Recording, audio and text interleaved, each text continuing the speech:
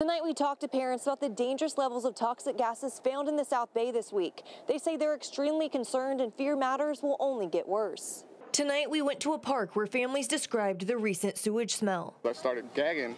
It was just very, very pungent smell. And it, I've never experienced anything like this. Been here for 10 years. It's only getting worse and worse. On Monday, we reported when a research team detected dangerous levels of hydrogen cyanide in the South Bay. I work in the shipyard, so the same smell like H2S, which is really bad for you, toxic smell. Parents brought their concerns to the County Board of Supervisors today. I don't know what to do except for advocate, and if you would please advocate at the highest level. Matt also lives in IB and is a father of six. He also is immunocompromised. I'm fighting terminal brain cancer. Don't worry, it's not contagious.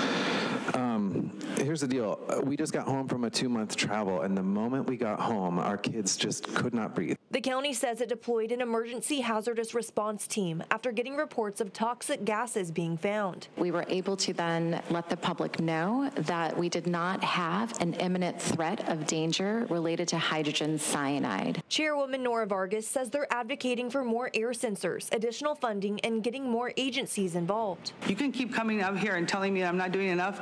I get it, and I'm going to continue to fight for it, but you need to understand that this is a top priority. Also today, the County Board of Supervisors voted unanimously to continue a local emergency declaration. The board first approved an emergency proclamation in June of last year in response to pollution and sewage flowing across the U.S.-Mexico border. Monday, South Bay Union School District and Sweetwater Union High School limited outdoor activities. Today, Sweetwater tells me they've resumed normal operations with guidance from the county health department. Jasmine Ramirez, CBS 8.